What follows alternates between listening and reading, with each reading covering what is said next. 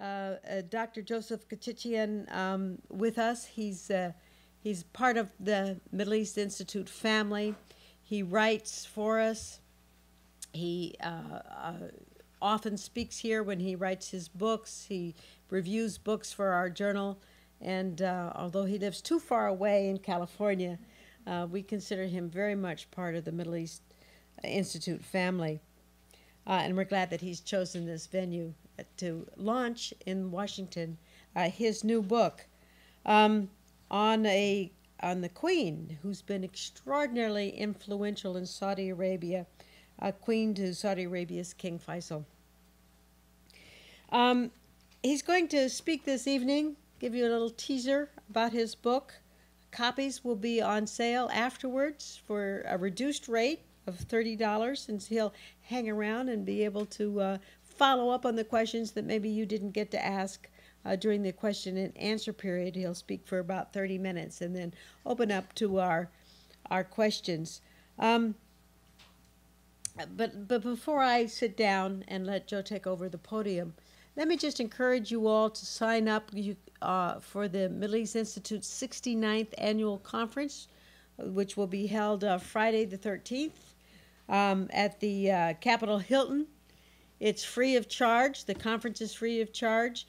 Uh, if you'd like to um, uh, join the luncheon at the conference, that your ticket will help support the Middle East Institute, uh, promote program, put on programs such as the one this evening, uh, and I really encourage you to come to our banquet the night before, where we, we will be honoring um, two extraordinary people, the princess from uh, Sharjah uh, for her contribution to arts, Hor Noor Qasimi, and um, uh, El-Erian, Mohammed El-Erian, um, who is uh, actually designing a lot of the economic reforms in Egypt now.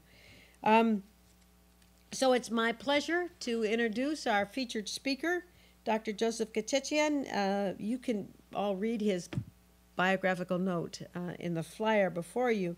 But uh, he comes with a wealth of experience in Saudi Arabia. He's been working at this for decades. He's a member and scholar of the um, uh, Middle East Institute. He is a columnist. He's an expert. He's a consultant. He was an was an honorary consultant to Oman and uh, Los Angeles. He's a research fellow, and he's uh, our friend. So, please Joe? Thank you. It's your podium. Thank you. Thank you. Thank you very much. Thank you all for being here. I'm truly happy to see so many of you and appreciate your presence. It's not every day that one sees folks assembled to hear about an Arabian queen, one who hailed from a country that is often in the news for allegedly creating tensions and adding fuel to various fires. Um, what will follow is a bit scholarly, but I'll try to keep it light, uh, about a leading personality who passed away in 2000, but whose legacy is alive and well. Before I start, however, I just want to take a few minutes to tell you why I wrote this book and how difficult the process was. As you know by now, this is my 11th book on the Gulf uh, region and the fifth on Saudi Arabia. And like all of its predecessors, it took the better part of nearly three years to research, compose, and publish. When you spend several years on a subject, you cannot but develop understanding unless you set out to smash it. Yet setting out to write about a woman who lived in a segregated society was even more challenging than I assumed. And truth be told, I did not embark on a crusade to either laud or denigrate Iffat al Thunayan. I was simply curious to discover the person who left her mark on King Faisal, a subject that fascinated me ever since I was a little boy when I saw the king at the old open air terminal building in Beirut, Lebanon, and about whom I composed a political biography in 2008. In other words, I discovered Iffat through Faisal and knew that she must have been a remarkable individual. I was simply a curious person. Yet, as a man, I did not realize when I set out on the project how challenging it would be.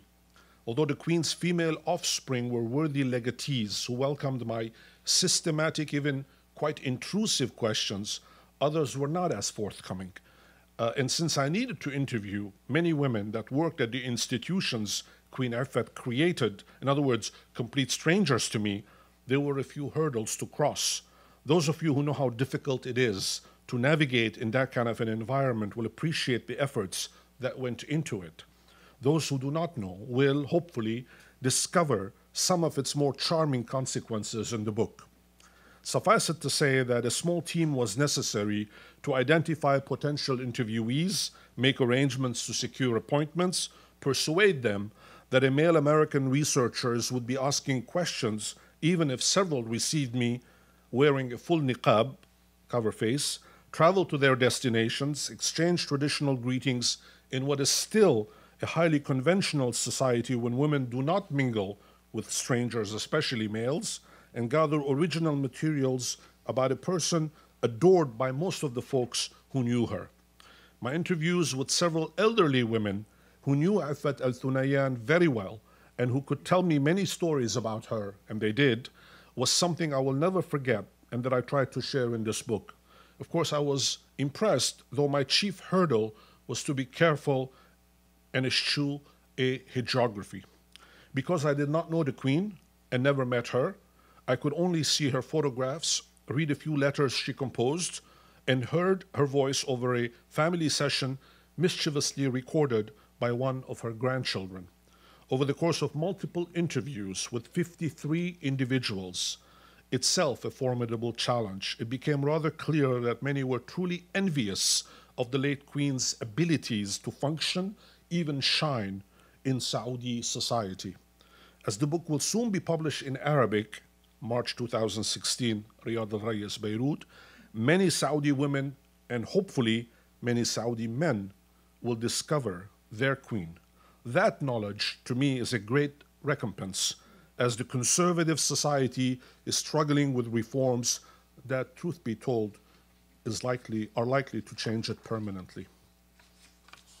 Now, uh, I'm going to skip over some of the material because I'm going to only spend about uh, 20 minutes to, to discuss uh, the book itself.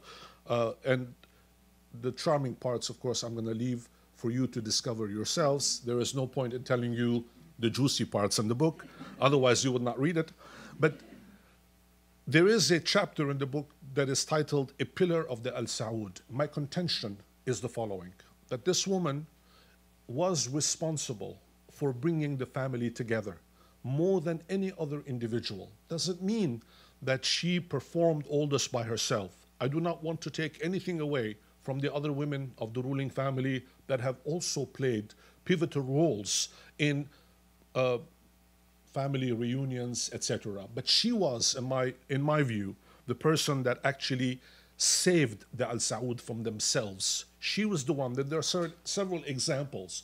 She was the one that would pay attention to family interactions to avoid disputes amongst brothers, senior members of the family, to the point where, again, I'm skipping a lot here, to the point where after her, her husband, King Faisal, was assassinated in 1975, when she left the country for several years, went to her Paris residence, and lived there for a few years before she returned.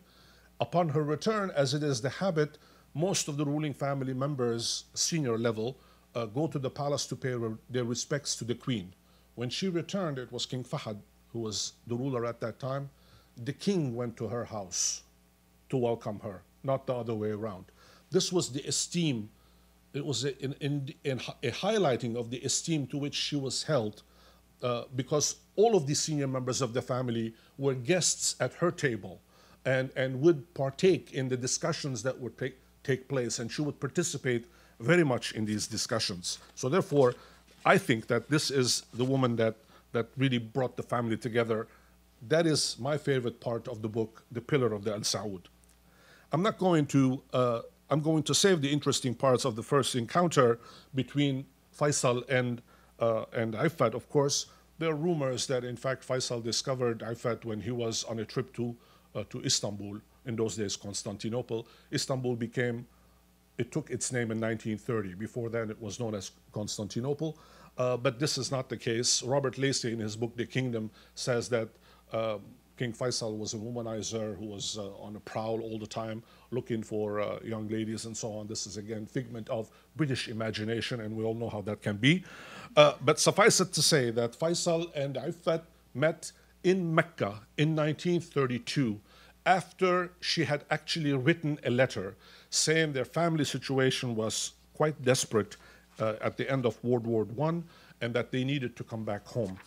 Uh, Iffat, uh, Iffat's grandfather, Abdullah bin Abdullah, don't be surprised by the fact that father and son have the same name. It just so happened that Abdullah bin Abdullah was born the night his father passed away. So they gave the kid the father's name. And it's an anomaly because the Ottomans mistook him, mistook Abdullah bin Abdullah for Abdullah, the father, arrested him, put him in shackles, took him to Constantinople, where he was a hostage for many years.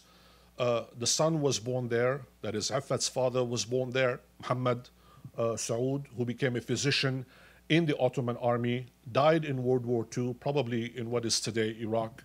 I tried to find the records of the military records, but I couldn't access the uh, Ottoman archives, still classified or forbidden or destroyed, nobody knows. Uh, so therefore, uh, Iffat also was born in Istanbul. And when the father did not return from the battlefield, Iffat's mother, Asia, remarried, remarried an Albanian neighbor whose name was Adham. Therefore, Ifat has a half brother and half sister from the second marriage. And eventually, the other family members were, came to Saudi Arabia as well. And Kamal Adham, Iffat's half brother, became the chief, the first chief of intelligence of Saudi Arabia, was raised in the family, uh, and was Faisal's right hand man. The reunion took place when the ship arrived into Jeddah port to go to pilgrimage. Iffat was not alone. She was 16 years old at this time. She was accompanied by her aunt.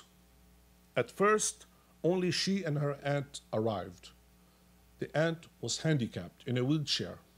So, therefore, this is an important part of the story because Iffat grew up taking care of a handicapped individual in the family and was very much conscious and aware of the need for those members of society who needed that kind of assistance, which will mark her for the rest of her life because Jawharan al Thunayan was always sitting next to her at the majlis. She would always be wheeled in and shown the deferred respect that she obviously earned in the family. Later on, when Iffat creates all the charitable institutions and health organizations, there is no doubt in my mind that the impact of her aunt's legacy on her pushed her to make sure that in Saudi Arabia today, being handicapped is no longer a taboo subject. On the opposite, handicapped individuals are taken care of and looked after. And again, this is Jawharan's doing. So therefore, the two of them arrive, and who meets them at the harbor? But the viceroy of the Hijaz, who happens to be Faisal. The impression, of course, is when they arrive, they will settle in. Eventually, Iffat will be presented to the king, the founder of the kingdom, Abdul Aziz, probably marry the king, and end up in one of the palaces someplace between Jeddah and Riyadh. What happens is the opposite. Faisal falls in love with her. She is a superbly attractive woman, even at 16. And within two weeks or three weeks, the marriage is uh, completed. And Faisal sends a telegraph to Abdul Aziz saying, Congratulate me. I married my, our cousin, Iffat Al Thunayan. We're coming to see you soon. Uh, and of course, the father said, Congratulations. well, I'm, there, is, there is a lot more to the story. I am saving a lot of the juicy stuff for you to enjoy when you read the book. But I want to I want to concentrate on two aspects before I stop uh, of the doings of the queen. And some of you may have this in your mind. Obviously, uh, the impact that she had on the role of women in the kingdom. And, and we always, I mean, obviously, this is a segregated society, and Iffat was a practicing Muslim. Uh, she paid attention to, uh, to all of the requirements that, that was there to, to be paid attention to, and she never contravened any of the rules, but she refused to wear a veil. She's one of the few Saudi women who did not cover herself. When she would step out of the house, she would put a shawl over her hair, and the moment she was in private again, the shawl will come off. She did not believe that this was a religious requirement, and in fact, this is something which was very dear to her heart. She never accepted the restrictions that were imposed on Saudi, in Saudi Arabia on women. On the other hand, she did not do what women have done in Egypt, in Lebanon, in Damascus, in Syria, and elsewhere around the turn of the century, where they actually removed their hijabs and joined the bandwagon of modernization. Uh, I discussed this in some detail in the book where it happened in Cairo. And Cairo was a very important station for Iffat al Thunayan because there was a lot of going back and forth between the two of them. She used to subscribe to all the women's magazines that were published in Cairo at that time, so she knew what was going on, politically savvy. And even though during the first few years of her life she had nine children that survived, uh, four uh, women and, and five uh, men, four girls and, four, uh, and five boys, nevertheless, she was very much active in the family.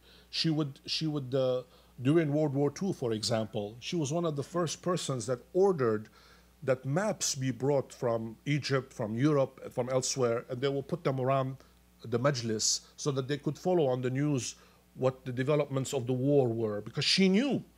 Uh, and, and upon her death in 2000, one of the papers that were discovered was a teacher's certificate, even though she never mentioned this to anyone throughout her lifetime. She was actually trained to become a teacher. And when she arrived in the kingdom, in other words, she was already rather formed as an individual, knew exactly what she wanted to do. So the two points, the, the, the, first point is that she accepted the rules of the country, but also insisted that modernization was something inevitable and that she would embark on it. The second, her entire life was devoted to education. Now, Education, obviously, we all talk about education, we all talk about the, the need to create institutions and so on and so forth. But in those days, the only kind of education that was available in Saudi Arabia was the religious kind. Uh, you would, the, the, boys would be sent to a local cleric, they would memorize uh, the Holy Quran, uh, and, and they will recite it, and that was considered to be the level of education. And of course, if somebody was uh, capable, it will, he will advance a, little more uh, in the learning process. There was hardly edu any education for girls.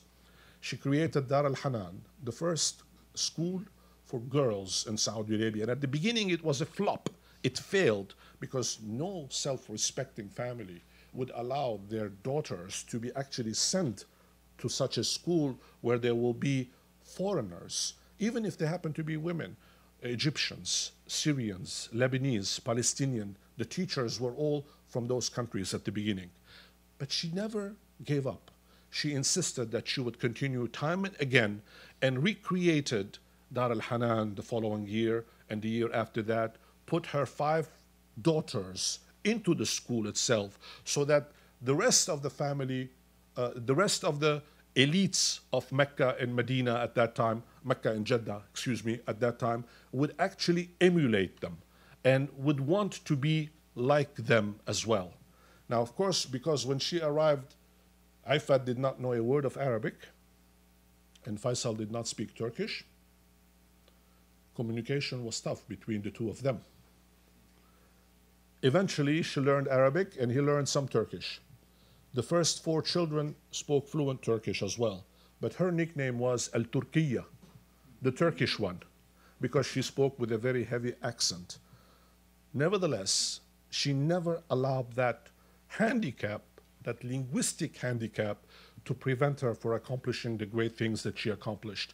Eventually, after Dar al Hanan, and after several other charitable institutions that were created where indigenous women without any education were actually taught how to read and write, basic hygiene, how to look after kids, to make sure that these kinds of facilities were introduced to them. she even went so far as to create a university which carries her name, Iffat University in Jeddah today.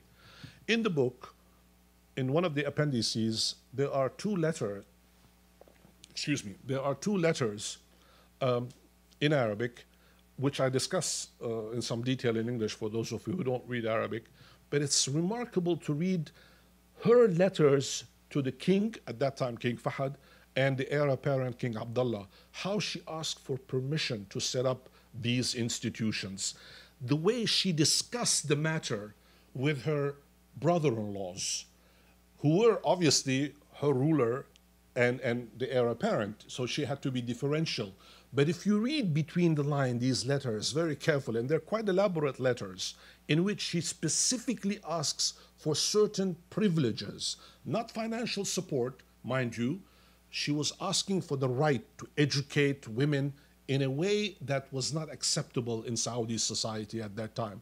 And Iffat University, as some of you know, does not only teach the arts and the humanities and the regular subjects that we assume that women only study, but Iffat University excels in uh, chemical engineering, electrical engineering, uh, computer sciences, and all the other scientific uh, subjects that are being taught right now. This is her doing as well. Now, I'm running out of time. Finally, I want to say one more thing, and then I will stop and let you ask me as many questions as possible. Um, somebody was asking me outside during the um, uh, break that we had earlier on about the fact that um, Iffat, as a practice in Muslim, was quite differential to the religious establishment, to the clerical establishment.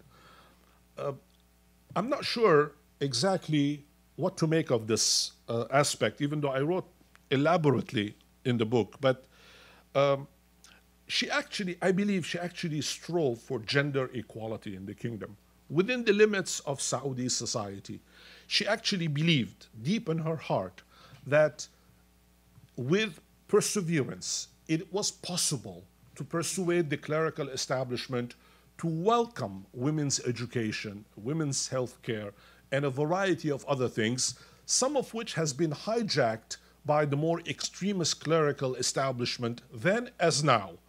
There is no denying this. We have to own up to the reality that is out there. Although she set out the precedent that, in fact, there could be challenges to the system.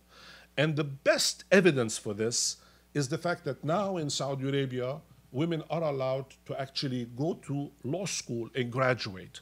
Now, they haven't yet been permitted to actually appear in front of a Sharia court. As you know, all the courts in Saudi Arabia are Islamic courts, Sharia courts.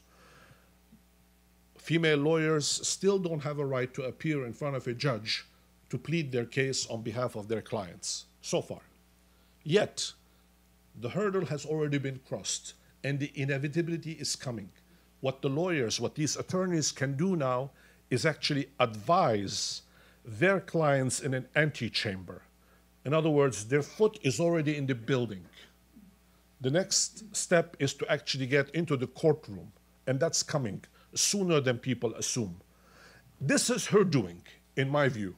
This is the kind of precedent that she set out to force the system to change itself she did not want to destroy the system.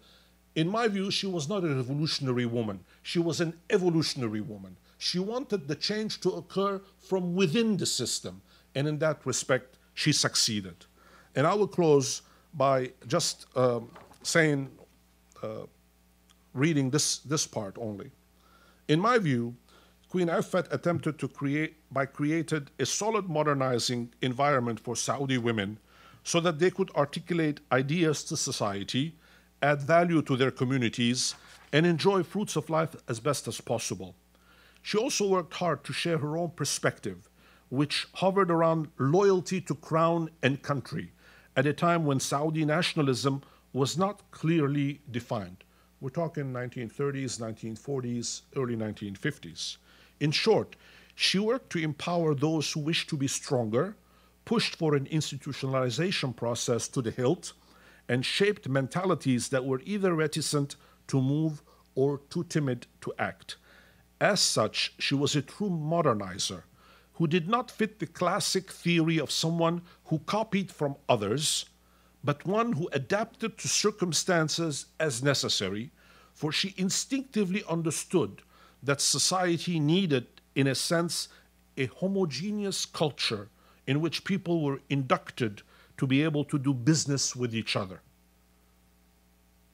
When I wrote that sentence, I didn't even believe what I was writing, to be honest with you. This approach did not mean that the search for such modernity was necessarily the search for secularism, or that it needed to dislodge the very idea that Islam and modernity were incompatible. In fact, her entire life proved that the search for material and spiritual progress were compatible as she legitimized women only public spaces by using an Islamic discourse. This did not mean that she accepted a second class status. On the contrary, she viewed segregation as necessary in the conservative public milieu, but rejected restrictions on ikhtilat in private. Ikhtilat is the mixing, which is for, forbidden in Sharia law, where men and women don't mix. The Queen's objective, therefore, was to add value whenever possible so that Saudi women could benefit from what was offered them. And in that respect, I think she succeeded. I will stop here and let you ask me any questions you may have.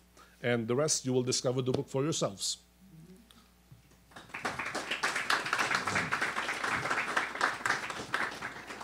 Well, thank you very much. Let me ask the first question. Uh, Could you speak a little bit about her, impact on her sons? Iffat had uh, five sons that survived. Uh, and I discuss in the book she had several miscarriages as well. In those days, healthcare was uh, fairly bad. Uh, the eldest son, uh, Abdul Rahman, if I'm not mistaken, who passed away just a year and a half ago, uh, was a commander of a tank battalion in the Saudi army. Uh, then there is Saud al Faisal, the foreign minister, the longest serving foreign minister in the history of the kingdom, probably the world, more than 40 years. Uh, then there is uh, uh, Bandar bin uh, Bandar al Faisal, who was an Air Force pilot who flew F 15s during the war, a distinguished, decorated soldier. Uh, then there is Saad, who's a businessman, Saad al Faisal. And finally, Prince Turki al Faisal, who for many years was chief of intelligence before he became ambassador to the court of St. James in London and then here in the United States. He is now, my boss, of course, at the King Faisal Center. Uh, he runs the King Faisal Center for Research and Islamic Studies.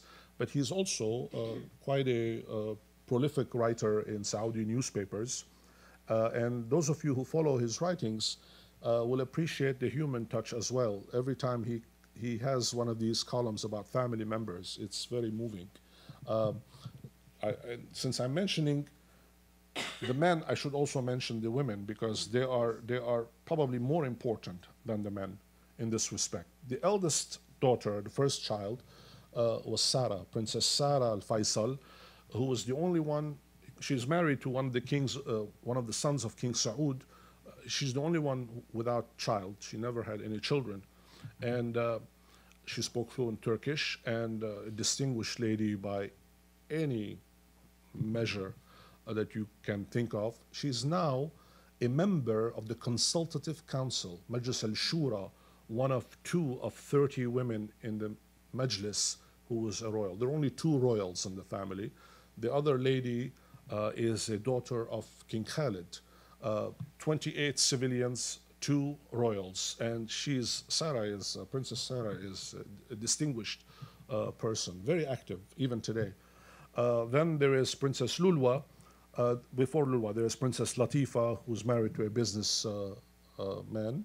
Um, Princess Lulwa, who is the chairman of Iffat, chairwoman of the Iffat University and Dar al Hanan, and she runs essentially her mother's institutional legacy.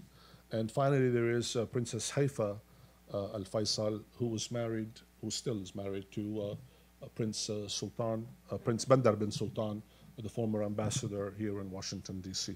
So, four very distinguished women who have marked their times as well. Yes?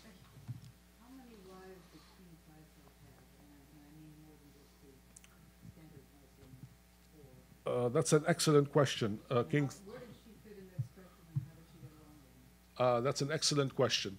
Uh, before marrying Iffat uh, in 1932, uh, King Faisal had 14 relationships.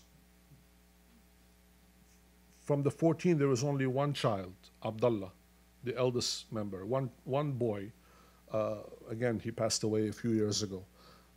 But you have to understand that these marriages, these relationships, were tribally driven at a time when the kingdom did not exist as a state, and that there was the tribal expansion underway, whereby Abdul Aziz would essentially conquer several sections of the country as his Ikhwan movement rose and, and expanded from the stronghold of Najd. So, therefore, at the end of each of these battles, there were, there were marriages that were consummated in order for the tribes to come together and commit loyalty to the victor Al Sauds. Iffat comes in, therefore, she is uh, number 14 in that list. There is one other marriage that occurs afterwards, again, an imposed marriage on Faisal, uh, from which there are ch- three children, including Khalid al Faisal, who is the governor of Mecca now and formerly Minister of Education, very powerful man, and, and two uh, princesses. But uh, although there was this other marriage, uh, the Faisal Iffat duopoly was unique. I will give you a hint. I want you to read the book, so I'm not going to spill all the beans. I will give you a hint at how Faisal perceived Iffat al Thunayan. Now, we're talking about royalty here. So there is court decorum, who walks first, who goes first, who comes first, who sits next to whom, who stands up when somebody walks in, who remains seated, etc. Faisal always, always let Iffat walk ahead of him. This was unheard of. She would, she would hold mixed dinners at home where men and women sat together at the dinner table to share a meal. And Faisal really, not only he was smitten by her in terms of unadulterated love, but he really respected her because he knew that this woman came to the kingdom, even though a cousin, even though from the Al Thunayan branch of the family, and I have a section in the book about the Al Thunayans because nobody talks about them, even today in Saudi Arabia. A few years ago, they finally put uh, Abdullah bin Abdullah on a street name, uh, Al Thunayan. Uh, but nobody talks about this branch of the family. Even though she's family, she was different from all the other princesses, from all the other women of the family. And, and Faisal knew this. And he, he appreciated the fact that he was probably married to the most educated member of the family. And he always, always paid attention to her view. She did not speak a lot. She was a good listener. She did not vent. Uh, she was a good judge of character. She would listen, pay attention. And of course, I'm sure, like most wives do to their husbands in private, uh, discuss important things that she observed, which she benefited from. Yes? I probably projecting at it. No, but we need it for the recording. Oh, okay. Um, were there any issues that she focused on later in her life as she became more secure, um, or after the death of her husband, or any um, issues on which she either shifted focus uh, to focus on them more, or shifted her own position on them? Well, I, I mean, th- that's also a, a very perceptive question because obviously, as a member of the ruling family, when she was a princess and later on when she became the queen, the only princess who has been given the label queen in the history of Saudi Arabia, nobody else has been given this title, uh, she would obviously have access to the family finances. Uh, the court allocated a certain sum of money as her privy purse from which she could dispense. But she was smart enough to realize that this was not going to last forever. And that were something to happen to her husband, that she would need a source of income independent of the family. Now, I don't know whether you guys realize how this financial set, setup works. One of these days, I'm going to write a book about this. Not now; it's too early. Uh, but eventually, uh, you know, you have to understand that uh, in order to be a member of the ruling family, you have to do certain things to earn this kind of income. The more you do, the more income you have. And depending on your position, you have set salaries, if you would like, that you get. Okay? It's never enough. You can ask for more. Uh, but there is a system in place. So money is not, is not there. You have to ask for it. Iffat was smart. She realized that she needed for all the projects that she was running, including the charitable organizations that she wanted to run, that she needed a lot of cash. Hmm? So, what did she do? She invested. She bought buildings, she bought hotels in her name. huh?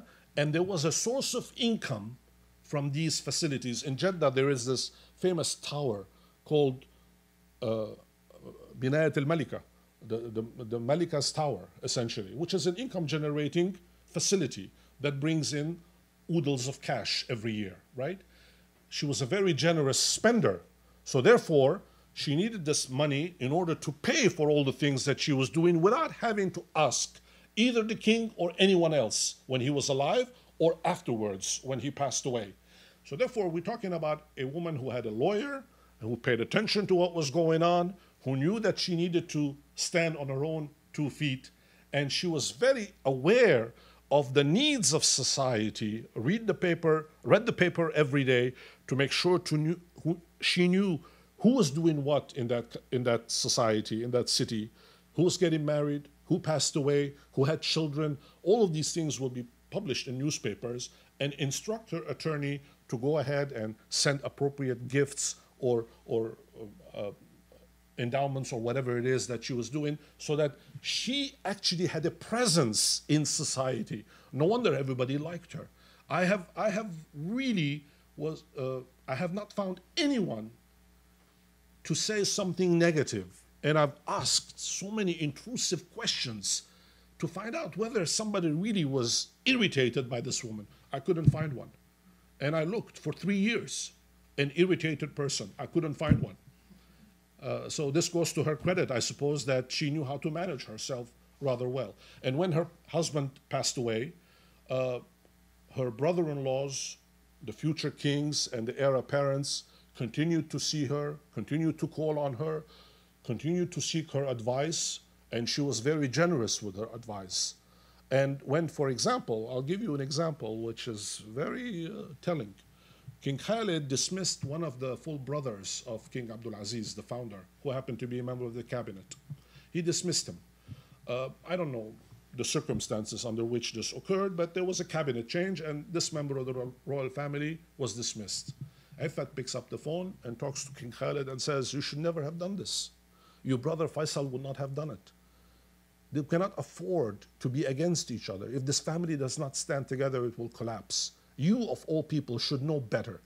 No one else dared speak like that to a sitting king.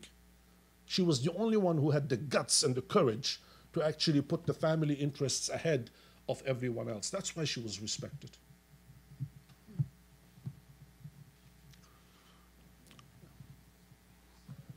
Um, how did her ties to Turkey manifest themselves in her policies and her personal life? That's a very good question. She went back to Turkey on an official visit when King Faisal went one time, uh, and uh, and uh, uh, apparently the visit did not go very well. I can I talk about this in the book. And when she came back, she swore that nobody ever would open Turkey's subject again in her presence. She would never again talk about her. Never went back after 1964. Never. I don't know what happened. I tried to find out but she was apparently very disappointed. Uh, I think I'm surmising now, because I don't have any evidence for this, uh, I'm surmising that she did not care for the military dictatorship, since in the 1960s, Turkey was run by the military dictators. So she didn't care for that very much. But afterwards, when she came, she gave specific instructions that she would not want the subject to be brought to her attention ever again, and never went back. And incidentally, um, in the book, I discuss her background as well. There is some Cherkess blood in the family too, uh, so uh, presumably she would have some some sympathy. Uh, but again, this is surmising on my part. I have no evidence for this.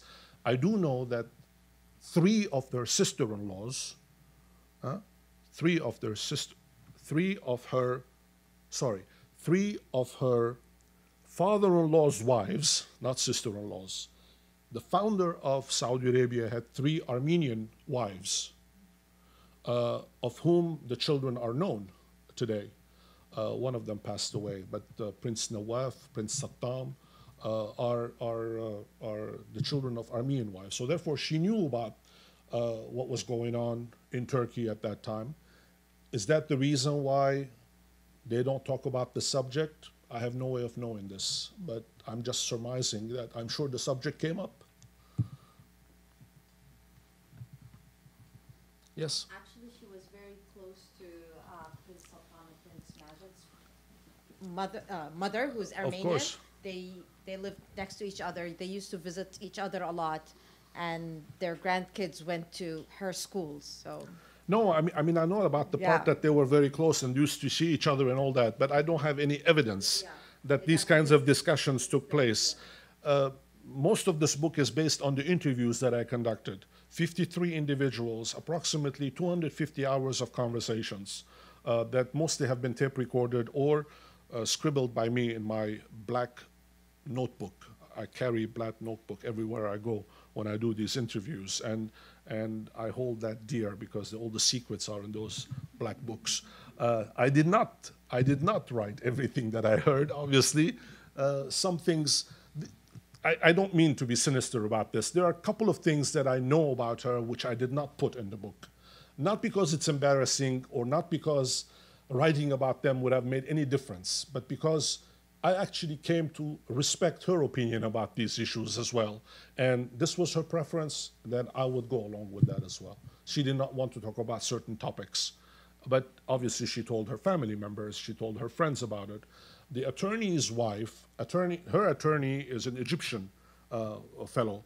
Uh, the attorney's wife has a lot of interesting stories which cannot be published. but that's a different story. Yeah. I'll have to give you some more wine after this. Yeah. Can you talk about how she influenced? It's known that her kids were more humble, modest compared to others, and how I don't know if in your book you talk about how she raised them as a mother rather than only her influence as on the society, like her motherhood side. Absolutely. I discuss each one of the nine separately. And her style was uh, very, very rigid. I mean, this is a woman that, uh, that imposed discipline in the family. Um, Prince uh, Bandar al Faisal, the uh, Air Force pilot eventually, who is an incredibly sophisticated man, well read, um, he told me this, this story, which is in the book. Um, when he was going to uh, flight school and he had to learn how to fly airplanes and so on and so forth, one day they were sitting around the table and he asked both his father and mother, What was expected of me? What, what do you guys expect of me when I graduate? And she did not wait for King Faisal to answer. She answered. And she said, You graduate first and then we'll talk. Now that's that's the kind of discipline. You know, don't don't pretend that just because you're the king's son that automatically you have a berth in in a position here or there. You are going to earn the position that you would like to have one day. And eventually he became a base commander uh, and and uh, Tabuk Air Base, uh, as the case was. So therefore, she was very much disciplined. And of course, the boys were sent to Princeton uh, at the prep school first, and then at the university. Saud al Faisal is a graduate from Princeton University. Um, he has a bachelor's in economics from there. Uh, Prince Turki from Georgetown. But uh, the girls were sent to Montreux in Switzerland, and they're all graduated from Switzerland.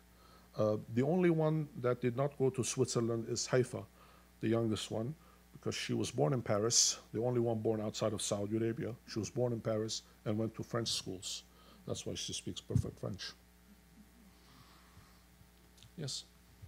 Um, on behalf of all Saudis and Saudi women especially, um, thank you so much um, for really celebrating Iffat Thunayan and recognizing the legacy she left on the kingdom. Um, in your book, you talk about her perseverance, how she worked hard to really earn the respect that she did, and um, the importance of her strong relationship with King Faisal. Um, so as Saudi continues to undergo many social changes, and you mentioned women gaining seats in Majlis al-Shura, um, King Abdullah scholarship program um, as another example, what advice do you think she would give to, to the husbands, the fathers, the sons of our generation? Uh, th- that's an excellent question uh, too. I think that you know she wanted to have gender equality in the country, and she wanted Saudi men to actually own up to their responsibilities more than anything else. And I was actually motivated by this idea to write about her because I want Saudi men to read this book more than Saudi women. My primary audience are Saudi men my hope is that they will really get to know Queen Iffat and really understand what it means to be a Saudi woman. This is a segregated society, unfortunately. It still is to a, to a large extent. There is this problem with ikhtilat, as you know far better than I do. But this is, she would have argued, a temporary phenomenon. This will change. She would insist that it will change, but gradually. She does not, I mean, somebody asked me a couple of days ago in um, uh, at Texas A&M, I think it was College Station. Somebody asked me whether she was a feminist. She was not a feminist in the classic sense that we in the United States think of her. She did not burn her bra. That was not the kind of feminism that she espoused. What she wanted, she wanted young Saudi women to become so educated that their counterparts, the male counterparts, would actually feel pride in them. And they will not be satisfied with the ikhtilat restrictions that exist in Saudi society. Naturally, the process itself, she believed, would grow to such a way that people would behave in a much more uh, normal way. And the proof for this is that not only she did not wear a veil, none of her daughters wear a veil either. Even Princess Sarah today, I'm sure you've seen pictures of her in the newspapers at the Majlis al Shura. She puts a shawl on her head, but her face is uncovered. There are other members of the Majlis al Shura who have their faces covered, uh, but she doesn't do that because that's what they saw from their from their mom. Uh, their, their mother wanted them to, and, and successive generations of Saudi uh, women, to actually assume responsibility, not be afraid of change. That, excuse me, that gradual change will come slowly but surely, and that this change will be beneficial for society. She did not believe in revolution. She did not believe against going against the religious establishment. Rather, she believed that the religious establishment needed to be educated, something which King Abdullah incidentally did a few years ago. For those of you who remember, he sent 4,000 clerics to re education camps so that they learn about religion. People forget these things, but I don't. We have time for one more question. Well, I could listen for the rest of the evening, but uh, we'll, want to leave a little time for you to sign books. My pleasure. People move on quietly, and thank you so, so much for. Thank you all for coming. I appreciate it. Thank you.